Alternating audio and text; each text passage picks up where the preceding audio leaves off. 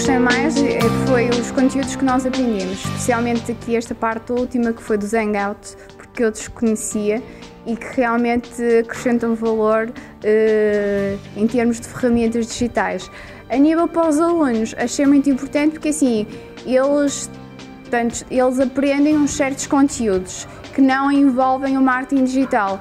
E como o marketing digital é muito importante hoje em dia, nós vivemos todos diariamente com a internet, tanto as empresas como os próprios alunos, eles relacionam-se entre si, entre redes sociais. Portanto, é importante que eles tenham conhecimento e tenham uma abordagem do que é o marketing, do que é o marketing digital para um futuro próximo, porque eles daqui, daqui a um ano vão sair para o mercado de trabalho.